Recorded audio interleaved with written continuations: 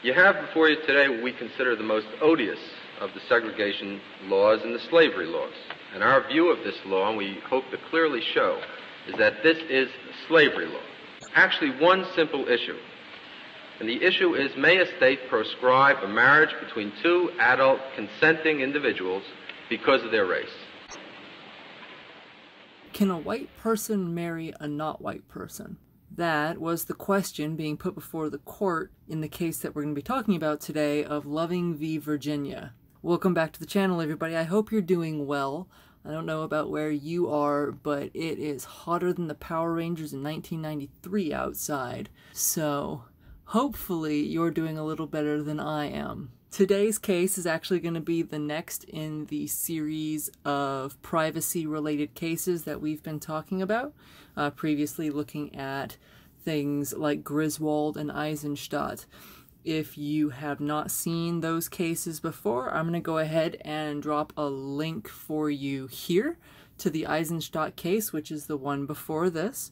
I do recommend you go back and take a look at those just so that you have kind of an idea of the framework for this particular case and similarly the cases that'll be coming forward in this series. They tend to build on one another. So as always, if you happen to enjoy the channel, do me a big favor, hit that subscribe button. And if you like this video, go ahead and give that like button a little tickle till it turns blue. And there is that bell over there, the notification bell, if you want to get notified of when I post go ahead and give that a hit as well. I'm aiming for a couple of times a week, but with work, we'll see how it goes. So with all of that out of the way, let's take a look and see just what happened in Loving v. Virginia. To help set the stage for the actual facts of this case, a little bit of history is going to be useful. Obviously, this case is taking place in the Commonwealth of Virginia, the South, back in the 50s, early 60s, so Jim Crow era. Now, for our purposes, the case relates to anti-miscegenation laws, or um, anti-interracial marrying laws. Now, Virginia, at the time this decision was made, was still one of 16 states that had these laws on the books.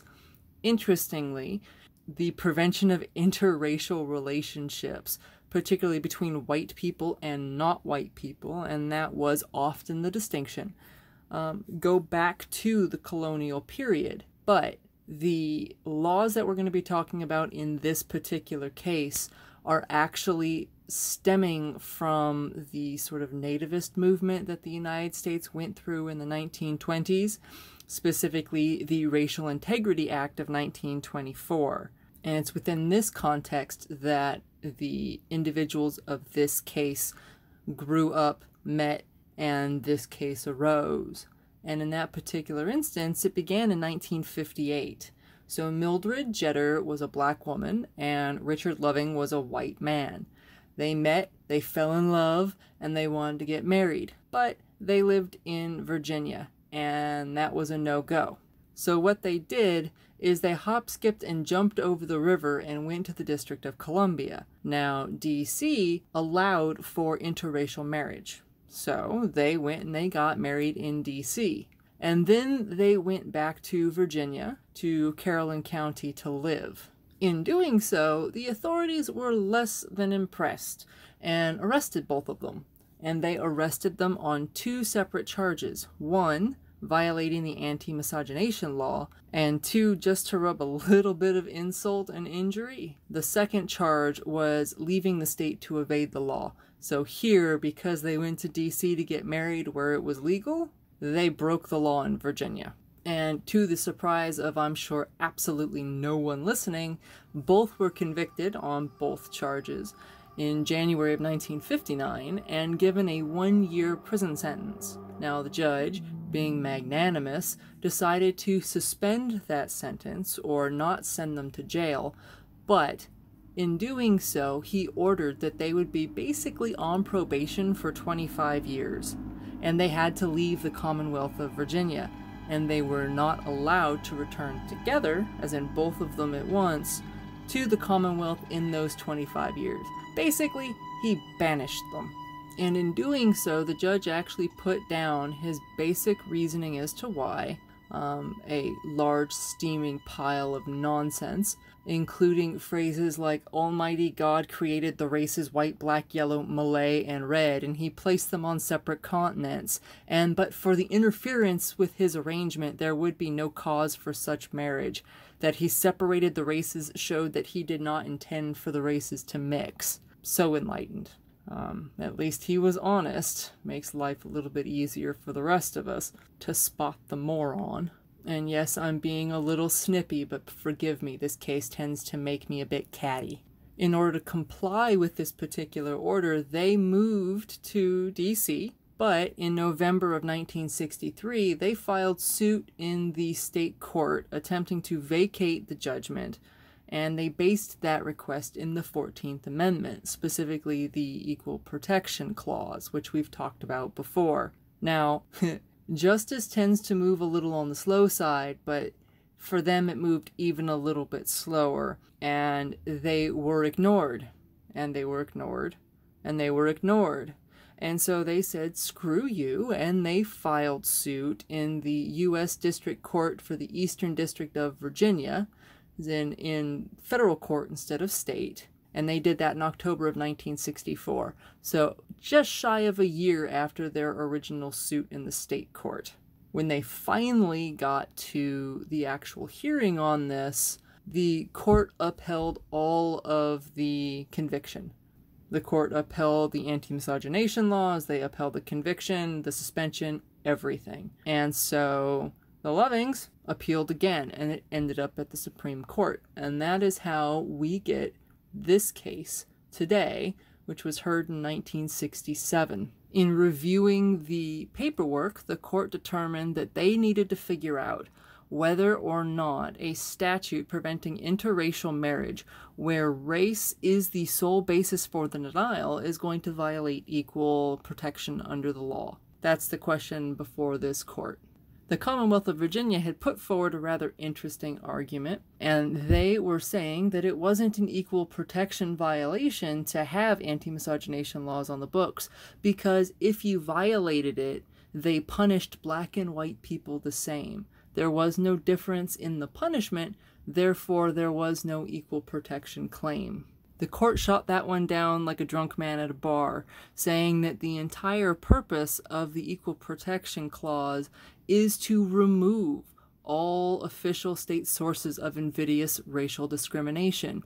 And the Equal Protection Clause requires consideration of whether a classification being drawn by a statute constitutes that arbitrary and invidious discrimination. In fact, if any state wanted to uphold such a law, they had to be able to show that the classification in this case race, was necessary to the accomplishment of some permissible state objective.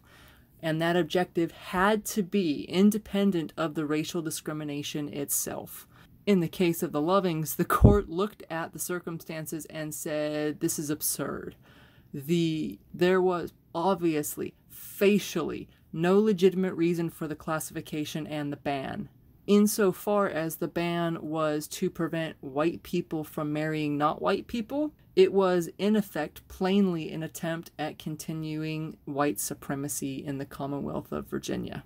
Which makes a fair bit of sense if you think about what the judge had to say earlier regarding the mixing of the races and other nonsense where race is the sole reason to restrict marriage, which, as we've discussed before, is considered a fundamental privacy aspect of human life. The court found that using that classification to deny someone access to marriage is a violation of equal protection under the 14th Amendment. But they weren't done because why not show up to court and get a two for one?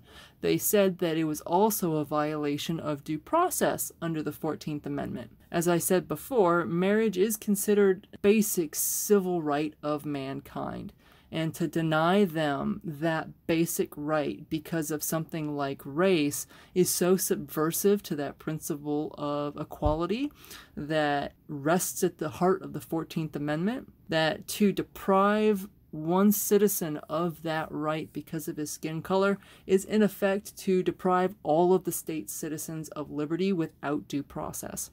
And so at the end of the day, the court struck down the Virginia laws denying the ability to marry cross racially on both due process and equal protection grounds. And because it's the Supreme Court and they're tying it to the constitutional protection, it stripped away the ability of all states in the country to deny citizens access to marriage across racial lines.